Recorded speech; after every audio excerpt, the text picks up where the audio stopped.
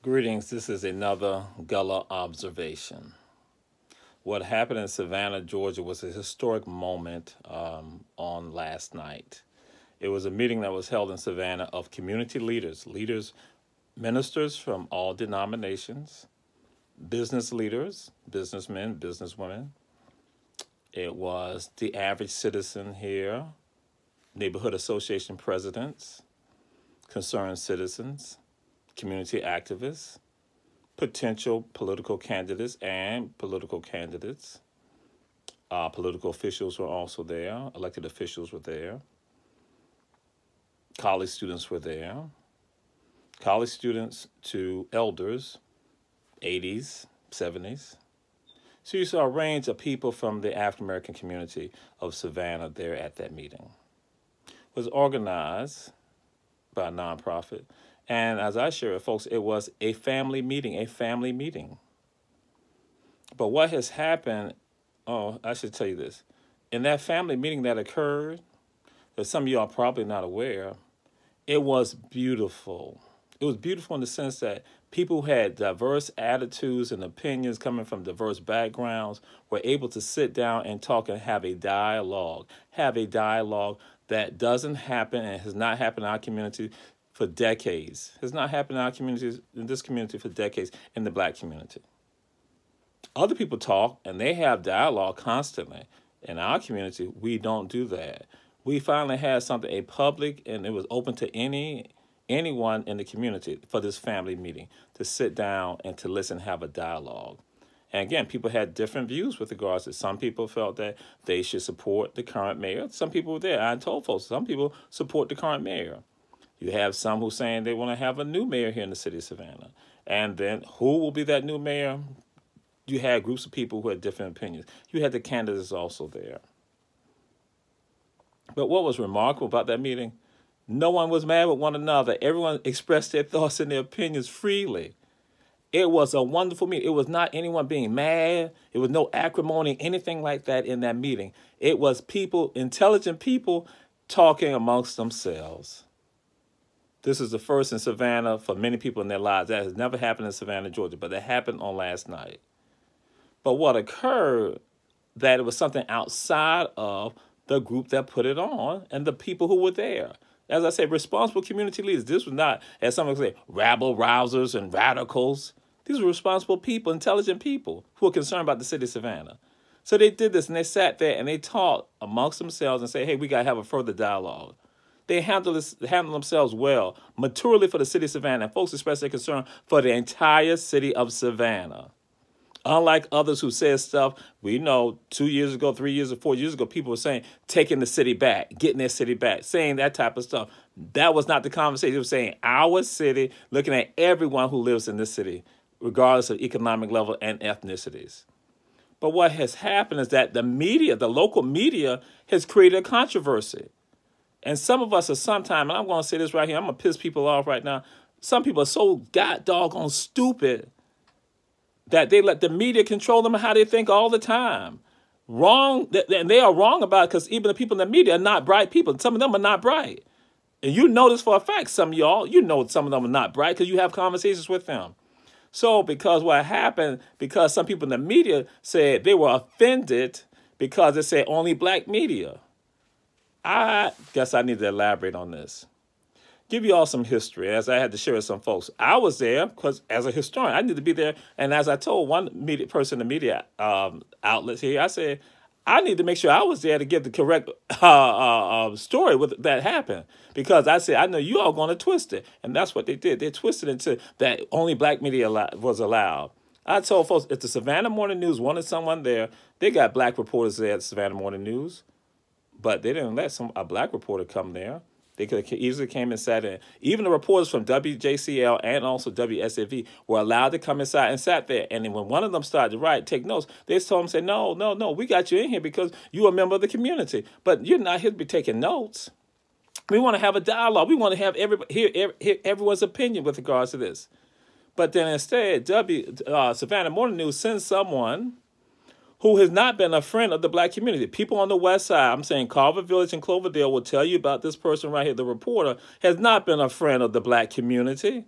Has in fact, listen to them. They'll tell you some of them. I can call some people out and tell you. They tell you, say, in fact, when they had thought that they were going to have their voices heard regarding issues where they felt that the city of Savannah did not treat them fairly, that person did not even listen to them.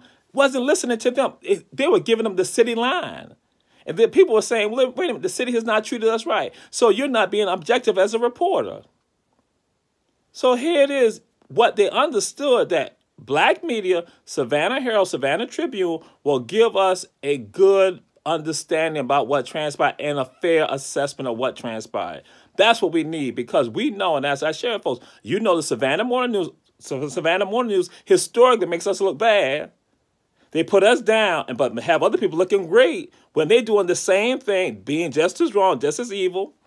We see news stations making us look bad, making us look awful, that we want handouts and all that. When you got other people doing it more than any black person here in the city of Savannah and in Chatham County, we understand injustice happens because some y'all saying right now, how can somebody like Paul Manafort get the sentence that he gets? And we look at the disparities in the criminal justice system regarding sentencing. We see all this right here. We see all of that. We know that. And again, they paint the picture of us negatively and don't give us good, don't put the good news out about us, how we're excelling the black media, that is Savannah Herald, Savannah Tribune, will do that.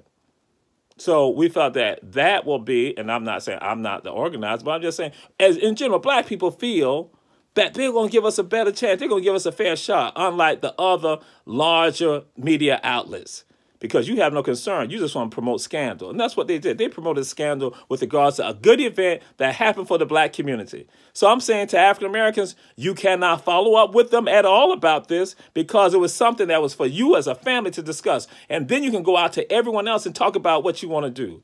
Because again, as I said, there are people there who support Mayor DeLoach. People going to support Van, going to support Regina, going to support Lewis. They're going to support, and they're going to support some other people come out also. They're going to support those folks, but they have an opportunity to have a dialogue they cannot have in other places. Oh, that's what I'm going to get to right now. As I shared with one media outlet, I said to them, I said, listen, you all are Johnny come latelys. You don't know our history here. Me, my family's been here since at least 1814. So I invested in this area longer than some of you. If you know anything about this area, they did this in the 1960s, 1970s, and 1950s. This is what they did. And in the 1800s. in fact, tell you this, I wrote this a piece several years ago. Savannah Morning News has been on the wrong side regarding the black community from the 1800s. They, in the 1800s, they were on the wrong side. And in the 1950s and 60s, they were opposed to desegregation. I'm going to repeat. Savannah Morning News was, was opposed to desegregation of Savannah.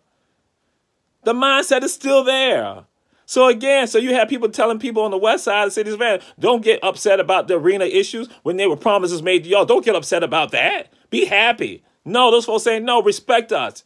And that's what happened last night. You weren't respecting us. And so again, we're not going to just go based on you just saying a promise. No, we want the truth. We want to we want to see tangible stuff. And that's what you're going to have to get to the point of being tangible with us. Tangible with us. This is we out the window. You know, get get out that madness and that foolishness. So, but what happened? Savannah Morning News did, will not report on those downtown associations, all those associations that do not have black folks coming into their facilities, coming to their meetings, that they hold, they hold private meetings to try to change the city of Savannah. They hold private, I'm going to repeat, they hold private meetings that the Savannah Morning News and others, I should say, other people in the media outlets who in the city of Savannah are aware of. They are aware of it and they know it goes on. But guess what? They say nothing about that. So where's the fairness in that? Because you all know, like I threw out Chatham Club, Oglethorpe Club. You say, well, that's a club. But guess what? Also, those people are also a part of other bodies where you hold other meetings, where you go, you sit at the tables and you discuss this community and making changes, not for the betterment of all people in the community, but just for a certain segment. That's what people are saying, wait, stop. We don't play that anymore. There might be some other people who'll be quiet about it and let you do it. No, there's a new group of people here, new group of leadership here in this city. Good people who's standing up and speaking out. That stuff will no longer be tolerated. You cannot go and try to paint the picture of us, try to tear down our political leaders and act like, oh, they're wrong about this. Our community leaders like they're wrong when you got other people doing the same thing right here and they are even more, they are vicious when other people are being good. So yes, They know about it. You got some organizations that even political, we have political leaders right now who, when someone tried to walk into a meeting, they were escorted out because they didn't have the right mindset. And these were Caucasians that this happened to by other Caucasians who didn't like the attitude of this person, right? Because this person was about fairness and parity. But the Savannah Morning News and no one else said anything about it. You don't say anything about that type of stuff. You say nothing about it. And now let me go back in time, and some people are going to really get mad about this right here. Any y'all know about the PAC? The PAC. The PAC did the same thing in the 70s and in the 60s. Savannah Morning News knew about it. WJCL knew about it. WTOC knew about it. WSAV knew all about the PAC and how the PAC operated. But they never said anything about any of that when somebody maybe from the Herald or Savannah Tribune or any other writer for them could be at PAC meetings or WSOK also and then, which was our radio station. Savannah Morning News said nothing about it back then. And you know why they didn't say anything about it, the media outlets here? Because the PAC was essentially doing the bidding for Caucasian politicians here and business leaders here in the city of Savannah. Oh my God, Jamal, you just messed up just then because now you exposed some stuff because we made the PAC seem like this, right? The PAC had impacted the lives of people who are in their 30s, their 40s, their 50s, their 60s, their 70s, their 80s, and going up to their 90s in the city of Savannah. But none of those news outlets who are not complaining right now said anything about any of that in the 70s because it was helping all of them because they were supporting John Rousakis. They were down with John Rousakis they were down with the people because, again, and the PAC was centered on African people and with Caucasians basically directing some of the stuff. And there'd be black media right there. They never said anything about that. They were not concerned about that then.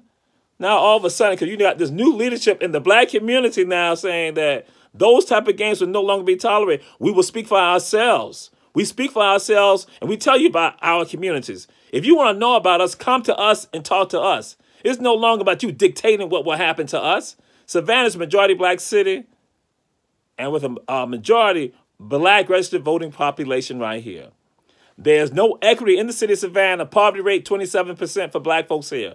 And it's unfair. And some of y'all want to hold on to the reins and keep it amongst yourselves as opposed to trying to take care of people in the city of Savannah. Tourists come here to the city of Savannah and don't even realize that Savannah got black folks here. And then you got the PAC that has been in place in the 1970s, 1960s, and Savannah Morning News folks had no issue with that. TOC folks had no issue. SAV people had no issue. JCL people had no issue with, with that back then because it was all good because they were controlling stuff. They were still controlling stuff. And not black folks saying we want to have our own family meeting and not have you involved in this right here. Oh, I got to throw this out here.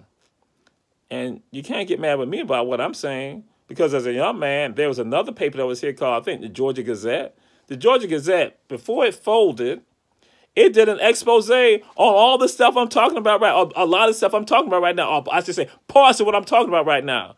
How the Rousakis regime and other stuff like that was going on, the stuff that they were doing, and then how the PAC was involved. But again, the media outlets, once again, once again, I go and say the media outlets said nothing about it. It was business as usual for them because they were making money off of it and the black community was still impoverished, had streets in the black community with, that was still dirt in black subdivisions. Bowles Ford Park was supposed to be just like Lake Mayer, and today it's not like it at all. And then you're going to get mad with us because we're not going to say we got to have a family meeting here in the city of Savannah for us to talk about issues. And then we discuss those issues intelligently. That's what we did.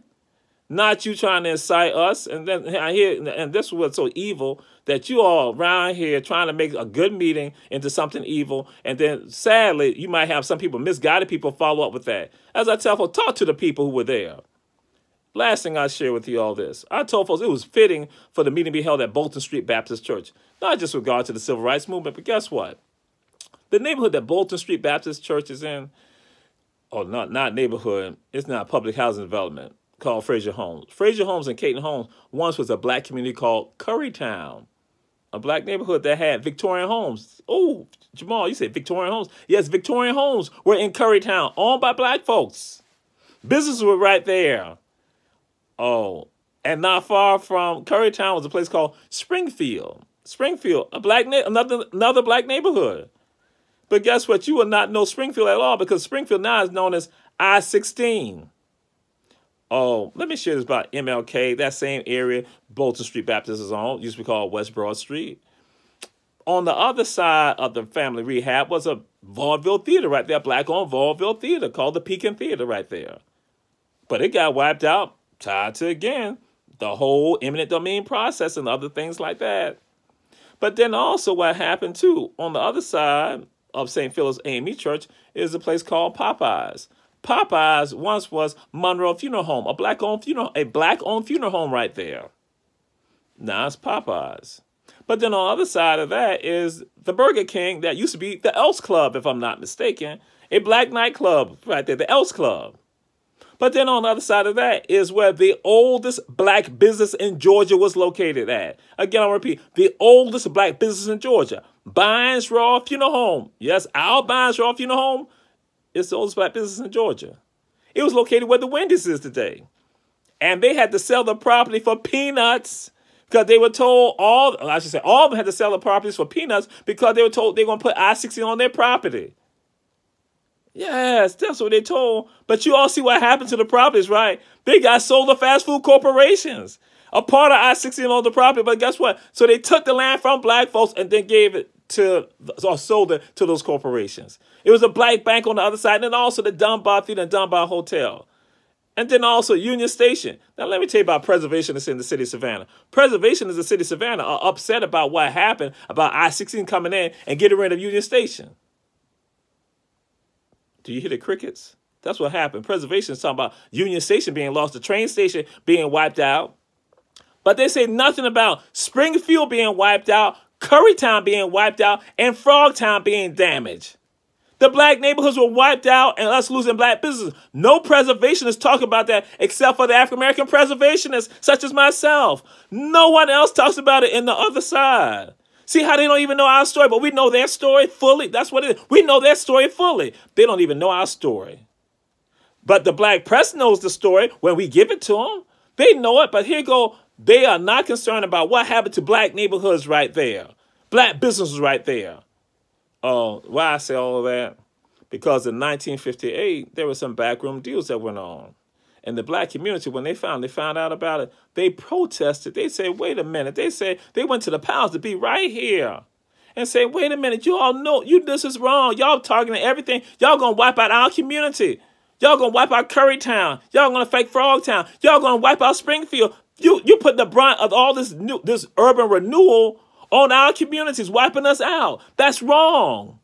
But guess what? The backroom deals that they held, that the Savannah Morning News and others knew about, guess what? Nothing was said to us until it was too late. And we lost it all. We lost our communities, Currytown, Frogtown. But people knew about it, backroom deals. But here it is when we now go and finally begin talking about a family meeting amongst ourselves, people want to try to cast us as being wrong, or cast a group of people who put it on being wrong. When black folks who were at that meeting were all responsible people, and they said, finally, it's time for us to sit down and talk, and let's have a dialogue, a dialogue. Other people do the same thing right here in the city of Savannah right now, and no one says anything about it. They don't invite the Herald to come to their meetings or Savannah, or Savannah Tribune to come to their meetings when they're discussing the business that's going to impact all of Savannah and hurt the black community even more. Thank God for Reverend James Simms. Thank God for Dr. Ralph Mark Gilbert. Thank God for W.W. Law. Thank God for those people because that gave us the understanding that we have to stand up and speak out for our people and come together as one.